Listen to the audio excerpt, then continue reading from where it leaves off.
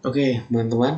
Nah, kita kembali lagi ke pelajaran komputer bersama guru komputer yaitu saya. Kita hari ini akan belajar cara menggambar bangunan piramida dari Egypt atau Mesir. Nah, di sana ada bangunan yang berbentuk segitiga dan mereka banyak ya ada di Mesir.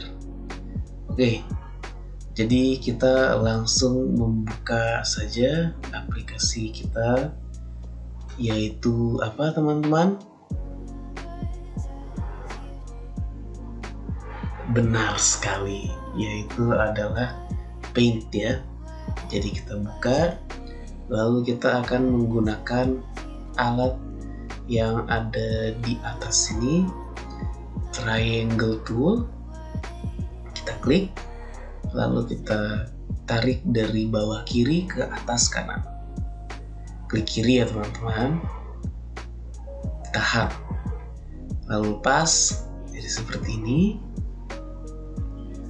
Jika sudah kita membuat segitiga lalu kita akan menggunakan alat brush di atas sini ya.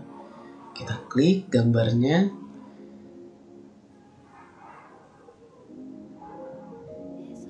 Lalu kita besarkan bentuk brushnya dengan klik di tempat size.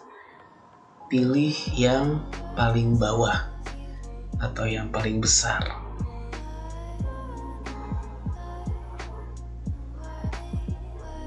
Nah, di sini teman-teman kita akan menggambar detail dari piramidanya dengan menggambar garis-garis seperti ini.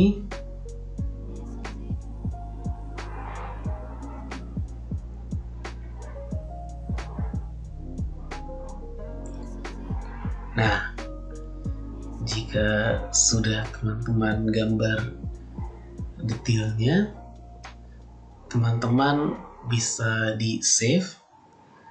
Teman-teman udah belajar ya cara save kemarin lalu nanti dikirim ke guru masing-masing. Oke saya saya selamat mengajarkan